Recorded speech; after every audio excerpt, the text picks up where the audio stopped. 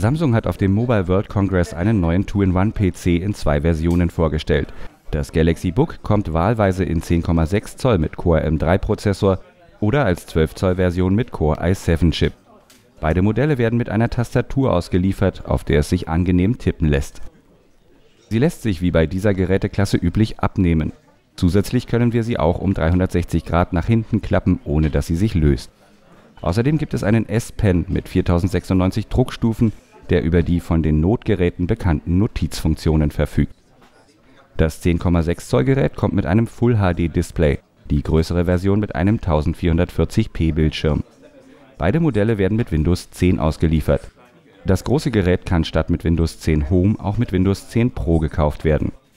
Seine Leistung prädestiniert das 12 Zoll Galaxy Book auch für rechnerisch aufwendige Anwendungen es ist in der maximalen Konfiguration mit 8 GB Arbeitsspeicher und einer 256 GB SSD erhältlich.